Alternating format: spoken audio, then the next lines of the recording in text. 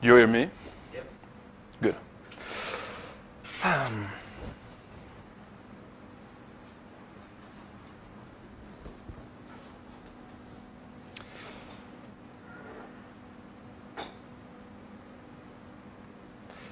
so, good afternoon, everyone. My name is François Tigeot, and I will be talking about porting the DRM and KMS drivers to Dragonfly BSD. And maybe closing the window. So, uh, about myself, I'm consistent, consultant, sysadmin. I'm a former CCTLD system engineer. I worked for the .fr registry. I have been an Xorg and um, X11 user as well as a BSD user for a very long time. Um, I introduced FreeBSD in the .fr registry. So some .fr machines are now FreeBSD machines. And I've become a Dragonfly developer since 2011. Um, Dragonfly is a Unix-like operating system. It's of course BSD based. It was forked from FreeBSD a little bit more than 10 years ago now.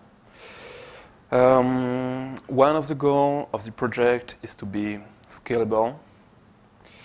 Dragonfly had many goals at the beginning. Among them, um, the project leader decided to try to scale for multiprocessor operations differently than what most of the operating systems were doing. So Dragonfly uses per core replicated resources, doesn't use complicated algorithms, and many operations are naturally lockless, and the goal is to keep caches as hot as possible.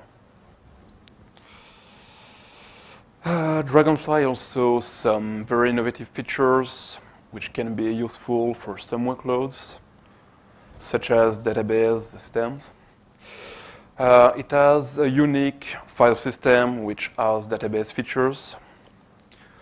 Uh, the Hammer file system is capable of doing history retention.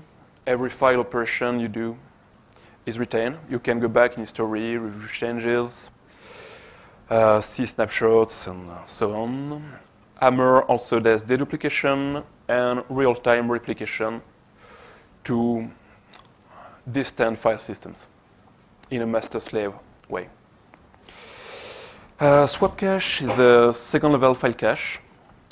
It uses the existing swap infrastructure and is optimized for SSDs. Um, a graph is better than uh, many words, and um, you can see here the scalability of the system. Uh, this was a benchmark I ran on a dual Xeon system. On the horizontal, horizontal line, you can see the, a number of Postgres clients. And on the vertical axis, this is the number of transactions per second you get. So I've compared Dragonfly with two competing Linux-based operating systems, and Dragonfly is a green curve. Uh, we'll now talk about uh, DRM KMS drivers in detail. We had a first tentative to port the new DRM drivers to Dragonfly BSD in 2010. At that point, it um, became more or less obvious that if we wanted to keep running graphical applications, and X11 in particular, we had to implement uh, what is called a KMS. KMS means kernel mod system. And it's a new way to manage graphics and uh, Linux and uh, now other Unix-like operating systems. Um, so we had a student um, try to port code from Linux in 2010. He used a compatibility layer, but sadly, he ran into trouble very early. So he stopped his work. He failed the Google Summer of Code project, but tried to continue later in his spare time. he had some code which was apparently working on his machine, but I never could um, get it to run on mine. So this was a bit of a waste. So I started again with FreeBSD. Two years later, approximately. Uh, Dragonfly was based on FreeBSD, so we still have many common kernel APIs. Uh, it seemed like a good idea at the time. So in this summer, I started to implement some of the low-level APIs required by the kernel. Uh, by December, I had most of the Intel driver put in.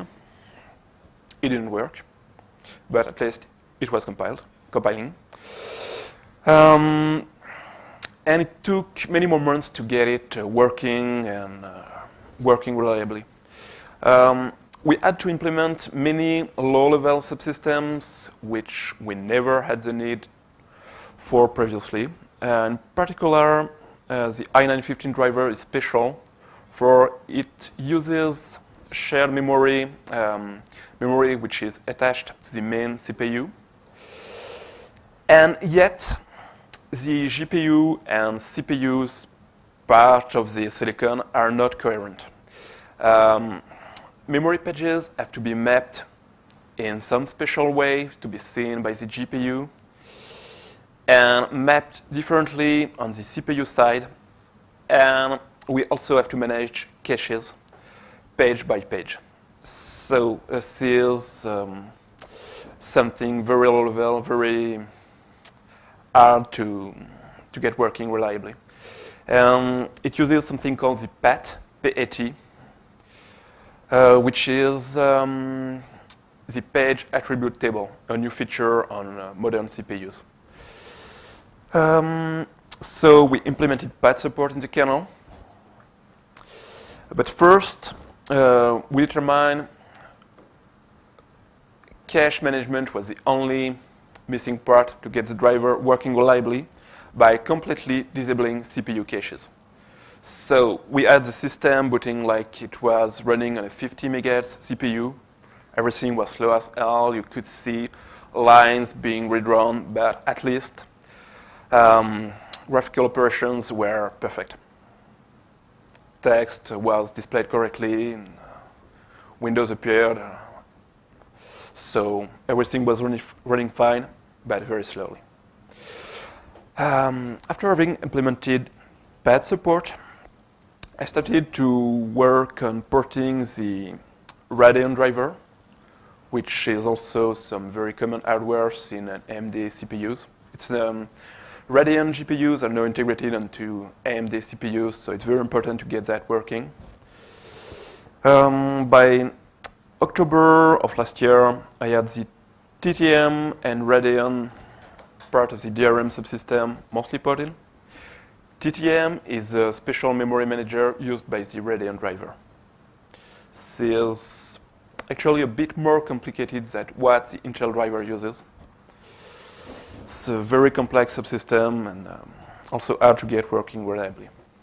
But we fin finally managed to do it uh, by July of this year. July. So, um, one of the problems we encountered later was FreeBSD dropped the ball. More specifically on the Intel driver, there were no significant updates to the Intel driver after the initial commits by FreeBSD people. The latest supported hardware is two years old by now. This is uh, Ivy Bridge GPUs. It's also blocking for FreeBSD people for they can't update their Radeon driver and generate generic DRM code without breaking the Intel driver. So it's a mess. And seeing that, I switched to Linux uh, for the new Intel upstream in uh, September of last year. And my first goal, my most important goal, was to get Haswell hardware support working. So there were many issues we had to tackle. And in particular, the FreeBSD code was nothing at all what the Linux drivers looked like. Um, most modern features are maybe from Linux 3.2, 3.4. The code is vastly different. Uh, FreeBSD also decided to keep the old DRM1 code completely separate from the updated code. So they have two DRM repositories, the old one, the new one. I ran a diff between the two, and most code was the same. So DRM2 in FreeBSD is DRM in FreeBSD plus a few more functions. Uh, um, it's a mess. So I tried to rebase on Linux and um, selected Linux 3.8, same thing as a target. Uh, the Linux 3.8 branch is interesting for it is the first Linux branch with working, non-working Haswell support. And most people also base their work on Linux 3.8 the FreeBSD Radeon developer used Linux 3.8 as a basis. OpenBSD folks also targeting Linux 3.8. And that was very important for me because OpenBSD is apparently the best, as the best BSD KMS implementation so far. Everything is working. They're feature complete with Linux. and uh, So I, I figured I could follow in their path and uh, use Linux 3.8 as a basis. Um, so I first tried to remove the most messy parts and uh, so put both DRM directories into the same one. Uh, I removed the old DRM1, Radeon, and Intel drivers and replaced them per, by their updated version. I also had to clean up the AGP driver. AGP is still used for um, many operations. Linux people are moving away and don't have to use the AGP driver anymore for with recent Intel GPUs, but we still have to do with it for now. So basically, I ran diff, git diff between the Linux and Dragonfly code, try to figure out which parts were important, which parts were pointless noise. Um, implement the important differences piece by piece so as to try to keep things relatively simple for each commit and not to break everything at once. Um, among the noise problems I had, was the FreeBSD Intel driver used different file names. For example, um, there's one low-level API to handle um, output management, uh, like screen size, auto detection uh, of uh, whatever features um, the display at the end of the cable has, uh, which is called I2C in Linux, and IIC in FreeBSD and Dragonfly. Well, the FreeBSD Intel driver decided to rename files having I2C in their names to files with IIC in their names. So pointless differences and tens of thousands of lines of difference. Uh, we add functions present in different files. We add rename functions for not really any good reason.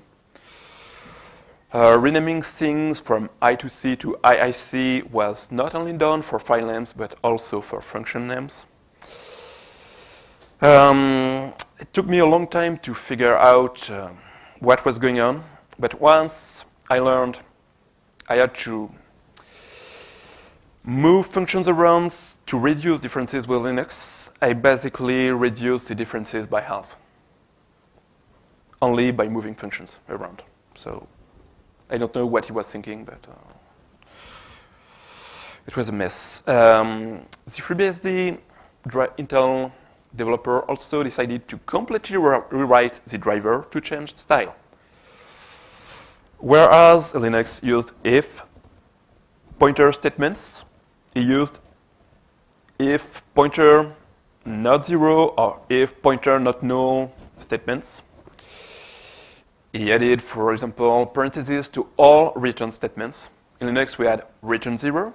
In FreeBSD, we had return parentheses, zero, and parentheses. And there were many things like that. Um, also added white space. Linux used, for example, 8, 10, 12 white, white space characters at the beginning of some lines. And the FreeBSD author moved everything to four white space characters. Well, for no good reason at all. As still, the style was nice. It was clearly easy to the eye, but uh, it introduced um, enormous amount of noise. And we had um, tens of thousands, tens of uh, thousands of line of code differences only caused by this style change. So I had to reduce this noise before moving to the important parts, uh, which I did later. Uh, there are some difficult spots where I wasn't able to completely translate code from the FreeBSD way of doing things to the Linux way of doing things, which is the GEM virtual memory code. GEM is a low-level memory manager used by the Intel driver well, to handle uh, different mappings depending on if you are in the CPU context or the GPU context or so on to flush caches and uh, well, it's, very very low level and um, very dangerous. If you introduce bugs there, if you make a little mistake, you can crash your machine, have your machine reboot instantly, and so on. Uh, there's also the I2C versus IIC API, which is completely different in FreeBSD, Dragonfly, and Linux. So um, I had to do um, to adapt uh, the driver and work around these differences. Um, for the rest, I implemented Linux APIs, which is, uh, which is the same all I did, the first Google student of code. Um, uh, David Chow tried to do, uh, which is also what the OpenBSD folks are doing. Um, for that, I used some wrapper code which was already present in FreeBSD. This is completely crazy. FreeBSD people used Linux wrappers for some of the drivers, in particular InfiniBand drivers. Uh, EMC, NetApp, uh, people um, spent years to implement Linux wrappers to have Linux drivers work on FreeBSD almost out of the box. And the FreeBSD Intel developer decided to not use them. So I copied this file from FreeBSD, adapted them to Dragonfly.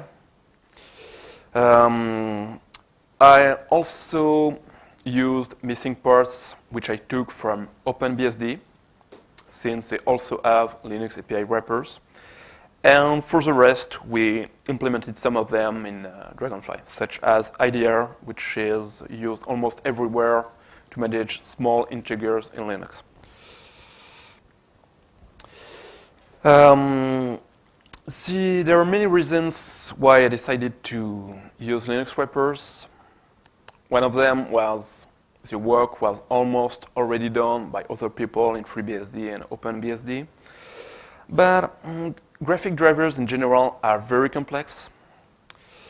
They're fast-moving targets, especially when they're in the Linux kernel.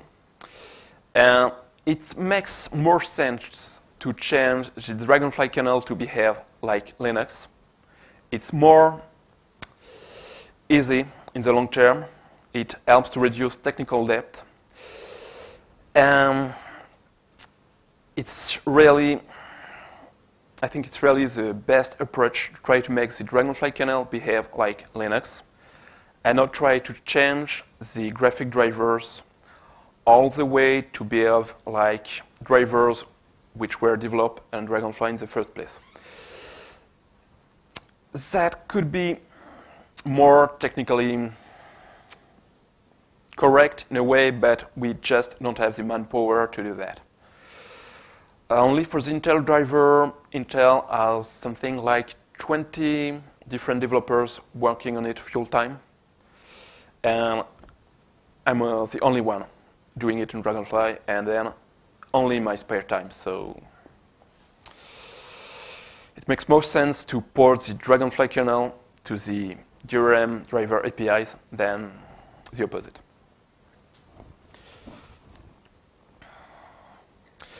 So we have many Linux uh, header files, which are uh, just wrappers to existing uh, Dragonfly BSD APIs or generic BSD APIs.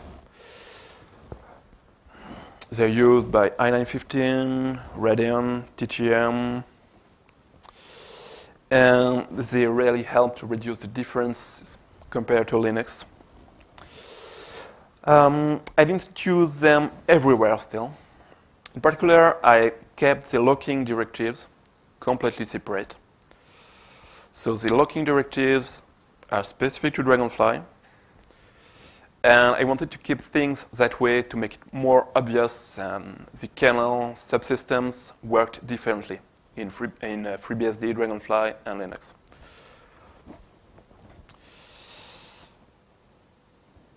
So uh, I wanted to get Haswell support working. Um, the first step was to reduce noise. So I reduced the pointless noise caused by style differences, function defined different orders, and then I moved to FreeBSD APIs, which I replaced by Linux ones. So many parts are now completely identical between the Dragonfly and Linux drivers, and this really helped. We fixed many bugs just by using the original Linux code and not the code modified by the FreeBSD developer. We add hangs almost everywhere. And, uh, uh, the driver is now much, much more solid. Um, after that, I figured out I had to update various subsystems. In particular, the interrupt code was completely different in Linux 3.8 than what was in FreeBSD, which was based on Linux 3.2 or 3.3. I'm not completely sure. Uh, I also had to update the ring buffer codes. The ring buffer is a part of memory which is used to store commands for the GPU, which is then processed in a ring fashion. Commands go to the end of the buffer and then uh, they start to be processed again at the beginning of the buffer and so on. Uh, the output management code was also very special. Uh, by output, I mean VGA outputs, all sort of plugs and cables you can use to plug displays to the GPUs. Uh, it's completely different in Haswell. In previous GPU generations, um, the outputs were more or less linked to a different chipset and they are now on the CPU die, and they also are now completely digital. Um, there's still some special handling for VGA support, but um, if I'm not mistaken, it will be removed soon in some future um, Intel GPU generation. So we had to update the mode, the driver mode management and uh, output auto detection code, um, which was one of the last part I got working. And then we were able to display graphics on Haswell, but they were corrupt. That was kind of funny actually. For you could see window frames be displayed, and window contents start to appear little pieces by pieces, little bits by bits, and the form of small uh, rectangles, small um, rectangular areas. And it was caused by graphic specific table management uh, structures. Uh, the GPU part of Intel's Silicon has its own memory management unit, which are completely different than the memory management units on the CPU part. So there are different page tables we have to manage the structures like we do uh, for generic uh, virtual memory operation. But we have to do it differently. And in particular, Haswell, as different cache attributes than previous GPU generations. So once I got that right, we finally had working operations and uh, pixel perfect operations as well. Uh, that was done in August of this year. So quite um,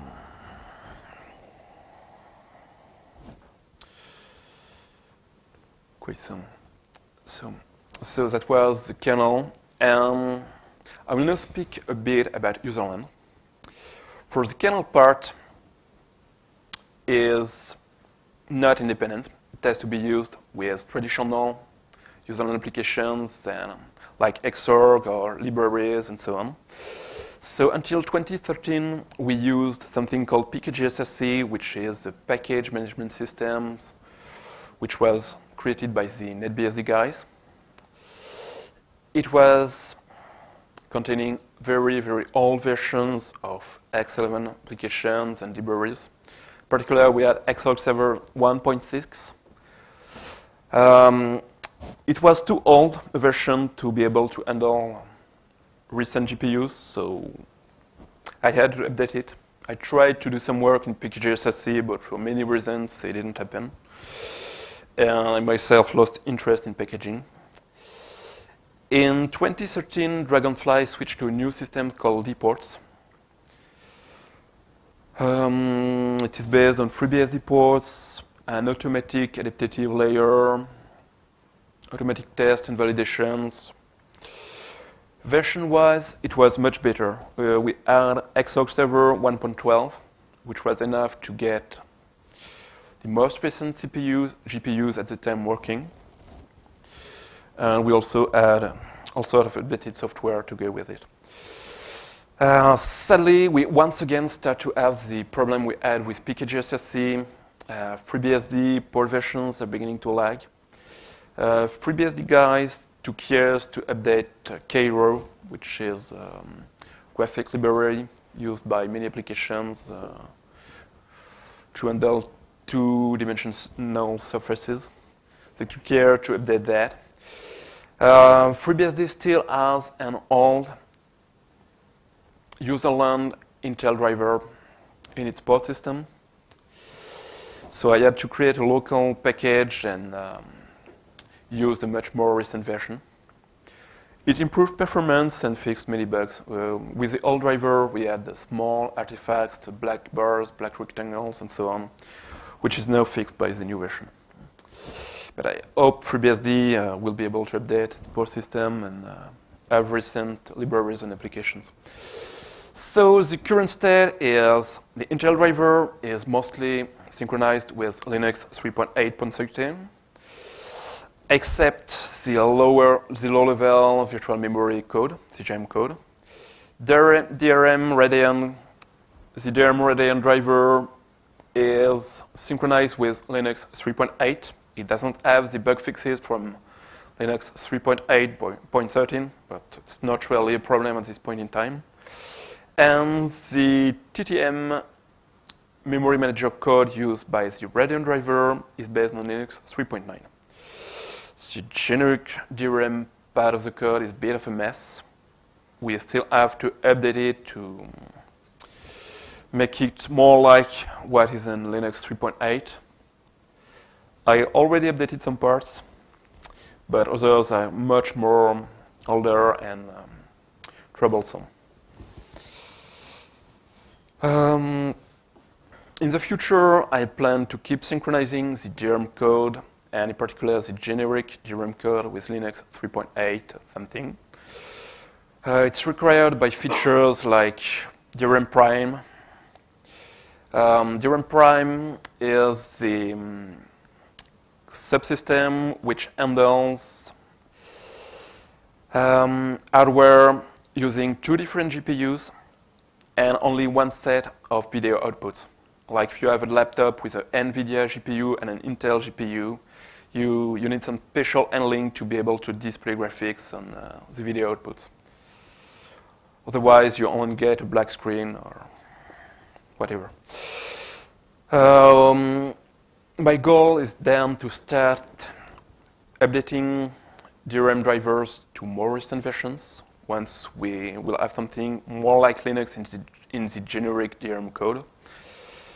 Um, then maybe start porting new drivers. In particular, we had many people ask about NVIDIA support, and for that we will require the Nouveau driver. Um, a requirement for porting Nouveau was also to get the TTM memory manager working reliably, which was done with Radeon, so now we're good to go. Um, another problem we have is once we start running Xorg, we lose console display. Uh, the traditional VGA consoles with 80 by 25 text characters don't work anymore once we start Xorg. Um, if I try to go back to the console, for example, I will get a black screen or a frozen display. I could try it in real time, but it's probably not a good idea right now. Um, so we could try to reset the GPU to be more like a traditional VGA, VGA GPU once we quit Xorg, or alternatively implement a graphical TTY layer, which is what the FreeBSD people are doing, which was also done by OpenBSD. Um, NetBSD already has a graphical console. Um, it is used by um, non-PC architectures in particular. Um, well, there are some patches uh, floating around, but nothing serious at this point in time.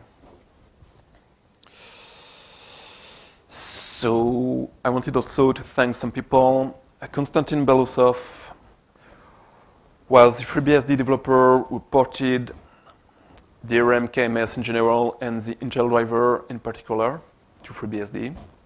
Alexander Kabaev started to port the Radeon driver to FreeBSD and the job was completed by Jean-Sébastien Pedron. And um, on the Dragonfly side, I did most of the porting from FreeBSD. I did the general generic DRM part, as well as the Intel and Radeon driver, and also the TTM memory manager required by Radeon. And some critical people made all of that work and work reliably. Um, Johannes Hofmann spent months working on bugs on the i915 driver. Um, he was the one who finally was able to display pixel perfect pictures by disabling cache on the system. Dillon added PAT support to the kernel and fixed critical virtual memory bugs. And Joris Giovannangeli and Markus Pfeiffer, who are, are also Dragonfly developers and fixed critical bugs and uh, spent long, long, long weeks um, trying to find bugs and fix them. We had some stupid things like um, the AGP driver trying to write memory in the middle of its window and corrupt some kernel subsystems and uh, some many things uh, like that. So, so I'm done. Do you have any questions? Yes? Have you looked at the recent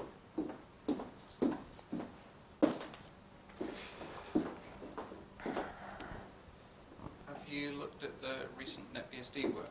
Well, I just I just discovered NetBSD was doing some significant work uh, during this conference. So running full time on one of my machines, DRM KMS.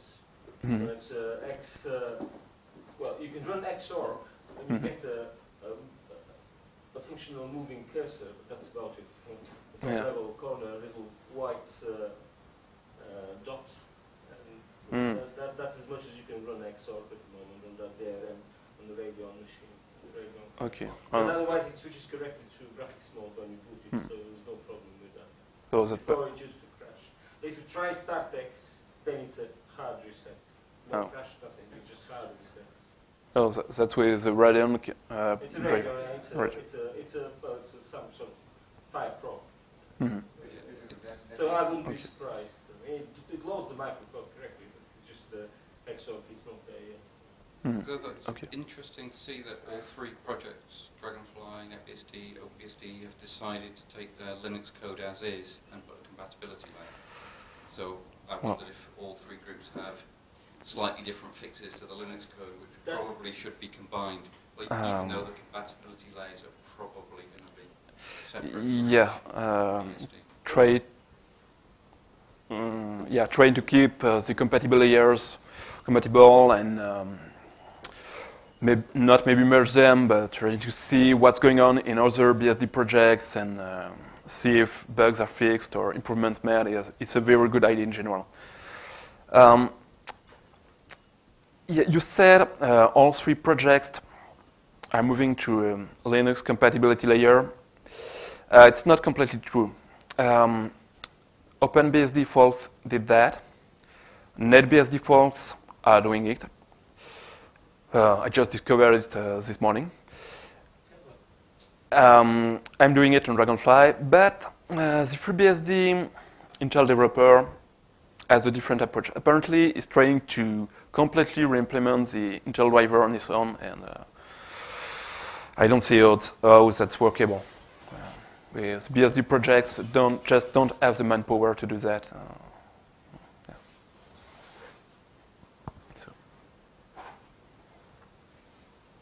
Any other question?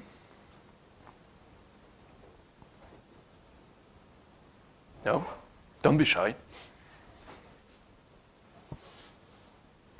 Okay. Well, thank you.